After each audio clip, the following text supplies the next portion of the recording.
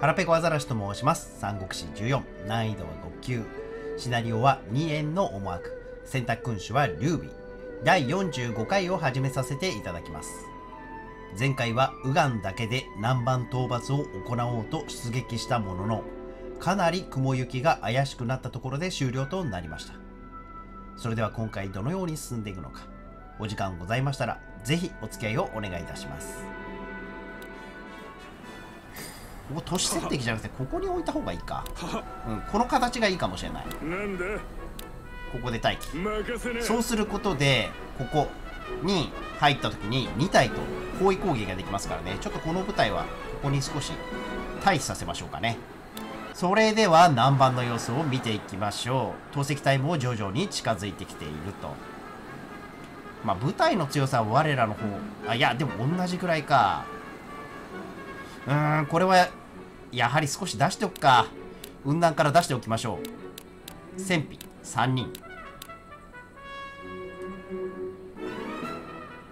攻撃を仕掛けましょ腕が鳴る。うでケンネから。ケンネはもう配備しちゃったか。そしたら甲州ですね。甲州から戦費2体を出していきましょう。いざ行かん。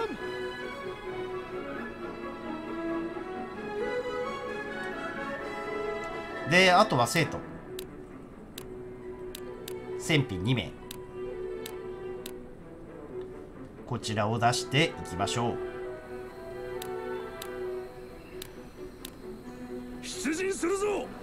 いやでもなんかいけそうな気がするけどなこちらの舞台だけでも。まあとりあえず実験でやってみましょう。南の方が少し手薄になってきたかな。でまた9000出てきたと。共に行こいや包囲攻撃されるのは良くないな。うんやっぱちょっと南の部隊が弱いかな。少し壊滅してしまった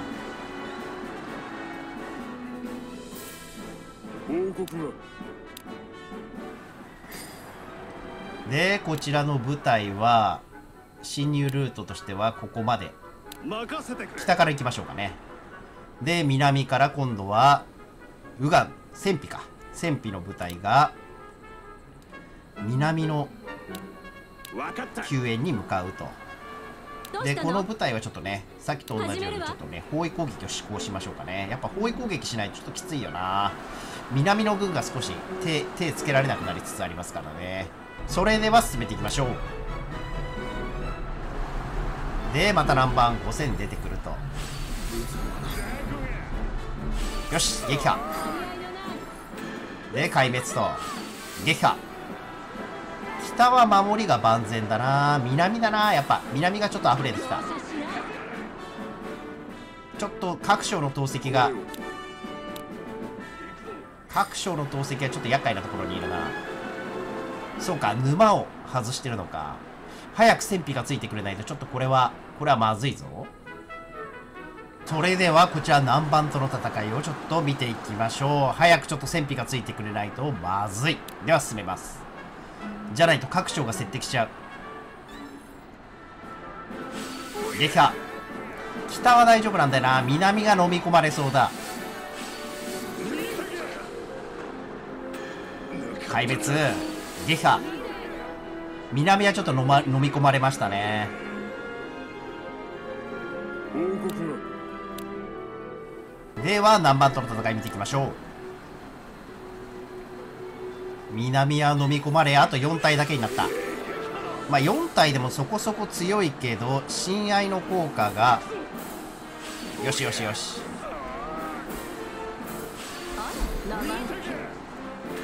壊滅。これを。よし戦費がうまい具合に入ってくれましたね。で戦費のまた部隊が到着すると。でここ3体だけだと北もいくらなんでも抑えられなくなりつつあるかな。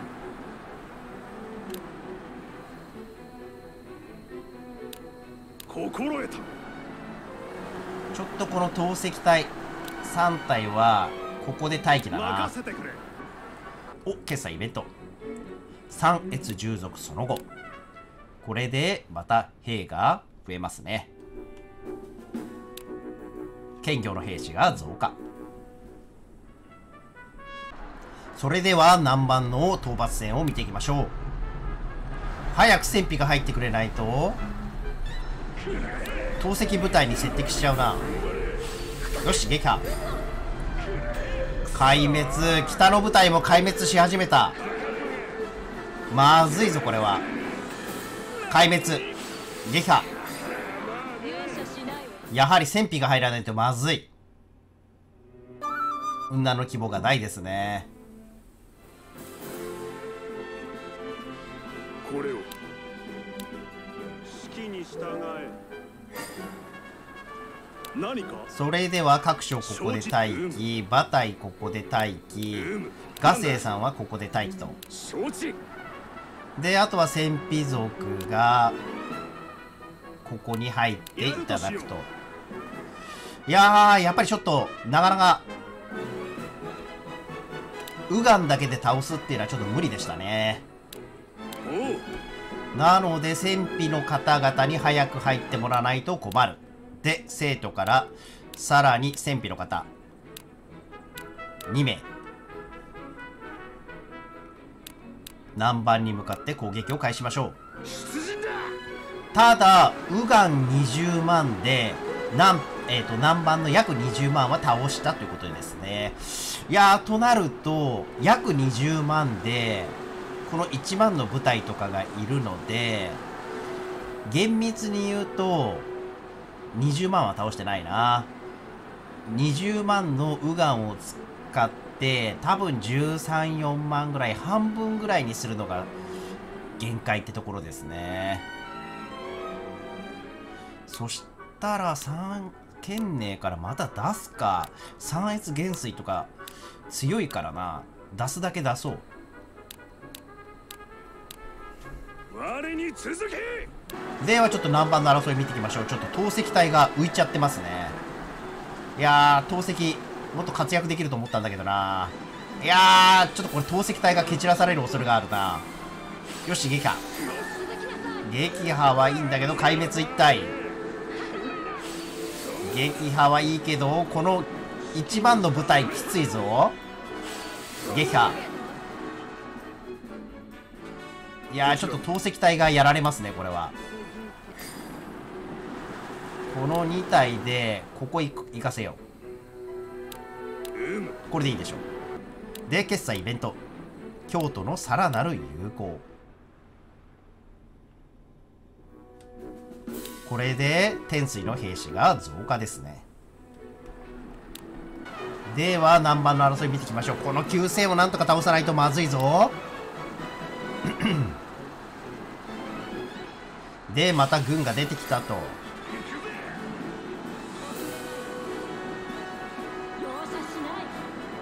しよしよしよし。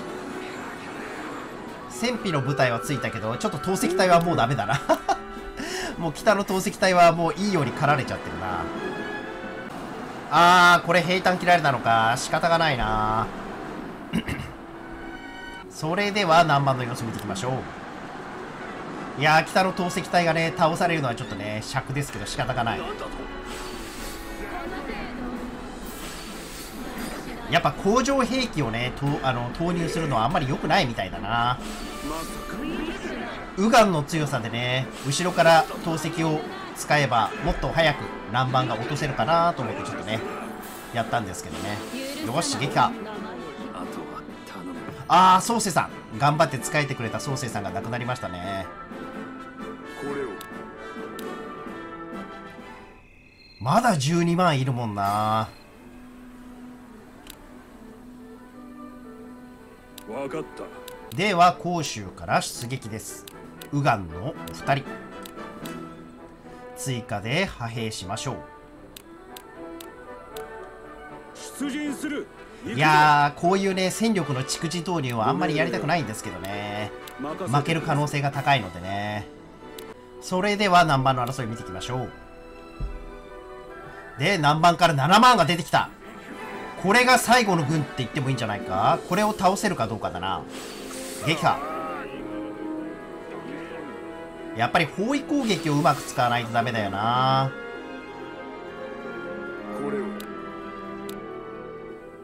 あと4万ですからね。でここは飲み込まれそうだな。南のよいしょ。変な画面になっちゃったけど。この南の戦費が3部隊の強襲を受けてるのでちょっと。こちら進軍しましょう。で南から1体2体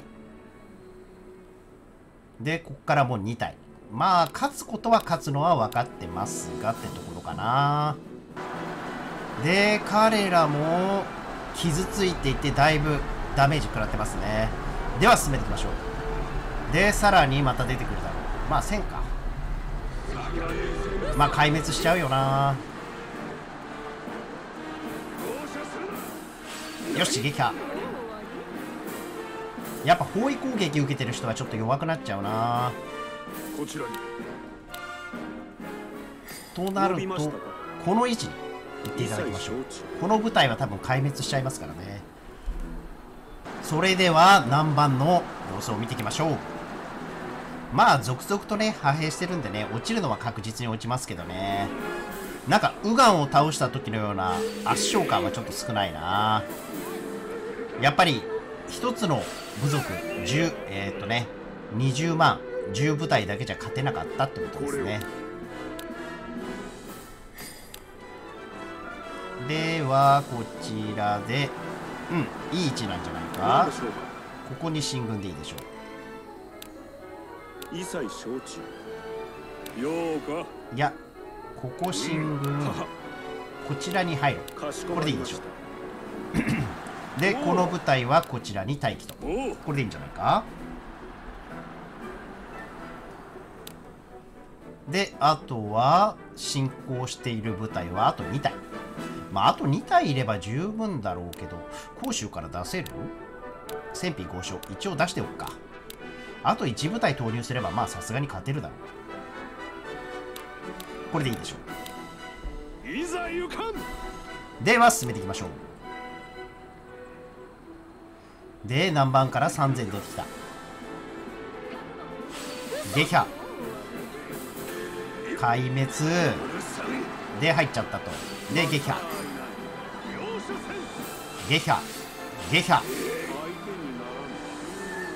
いいですね。いいんじゃないか？この舞台はそしたらここで待機。ここは待機で。ここに進軍でいいかでこの舞台はここに待機でウガンのこの綺麗な女性はこちらに行ってまいりましょう。では南蛮に向けてし南蛮の戦いを見ていきましょう。2万出てきた。い。いでしょう。よしよしよし包囲攻撃ができるように布陣さえしとけば勝てますね。やっぱりこれが一番いいな。包囲攻撃できるように布陣をし敷くのがいいですね。これはいいこれはいい。で甲州の規模が大かな。よしよしよし。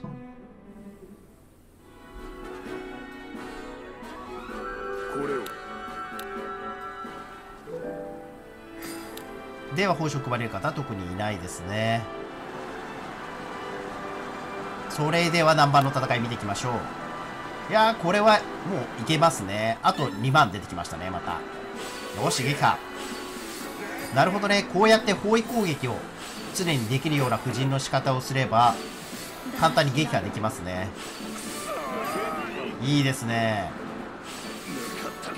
いいですね。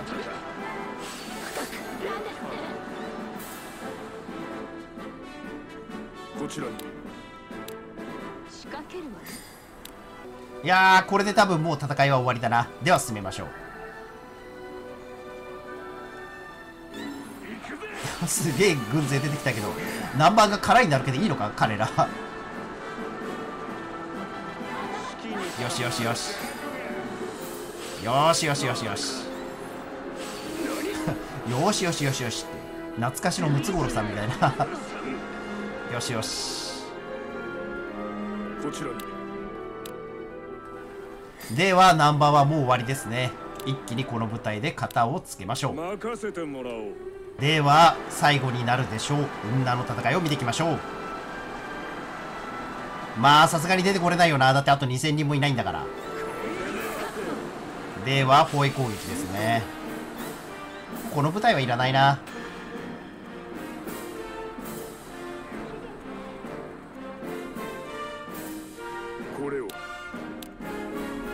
では南蛮が落ちる様子を見ていきましょう。もう出てこれないですからね。耐久値が半分です。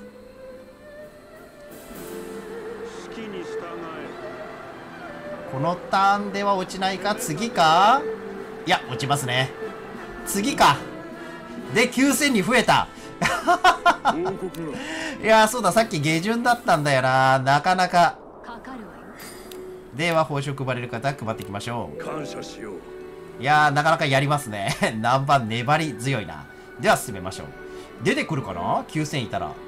出てくる勇気あるな絶対出ない方がいいのに。壊滅しましたねよし。ただこれで、あと500。次のターンには落ちますね。報告がでは、何番の戦い、最後の戦いを見ていきましょう。では、これで何番が陥落です。よしよしよしよしよし。これで何番が陥落いたしました。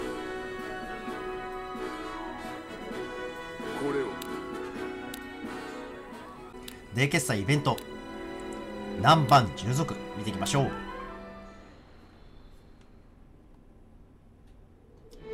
我らを屈服させるとは、官軍とは何という強さなのだ。いや、その前に言うことがあるでしょう。今まで友好をね、結んできた勢力ですよ。にもかかわらず、いきなり平和に暮らしていたところをね、右岸の部隊に吸収させておいて、で、のうのうとね、こんな引っ張りね、出してるっていうのね、ちょっとね、それはやっぱね、中華の皇帝としてね、あるまじき態度ですよね。まあ、それはね、僕がやってるんですけどね。陛下、やりましたな。ついに南蛮を打倒しましたぞ。うむ、決して楽な戦いではなかったが、これも皆の奮闘のおかげだな。その言葉で皆も報われましょう。それで陛下、進言したいことがあるのですが、申してみる。南蛮の将兵から優れたものを選抜し、我が軍に加えてはいかがですかこの辺りは同じですね。南蛮といえば機動力に秀でた造兵なる戦法を有する部隊が特徴です。造兵で機動力秀でてるかな南蛮の将兵を用いれば今後の我が軍の戦いはかなり有利に進むことでしょう。なるほど、最も来県だ。何より南蛮の強さは戦った我らが一番よく知っている。南蛮の大王よ、聞いての通りだ。我が軍はそなたらの力を欲している。どうだ、力を貸してみるか。わかった。従属することで滅亡を免れるならば、お前たちの仲間となることを誓おう。では、これよりは手を取り合い、共に戦っていこうぞ。そして、1、2、3、4、5、10人。以下の南蛮の将が自制力の配下に加わりました。親密度をマックスまで上げても8人しか武将が加わらないので従属させた方がより優秀な武将を多く獲得できるっていうことはやっぱり同じですね。ではこの方々でえっ、ー、と一旦剣で入るか。承知した。いかがだったでしょうか。ついに三越戦費右岸に続き4つ目の異民族南蛮も従属させることに成功した劉備軍あと残る異民族は古くからの付き合いの今日のみとなります。それでは今回はこれで終了とさせていただきます。また次回お時間ございましたら是非お付き合いをお願いいたします。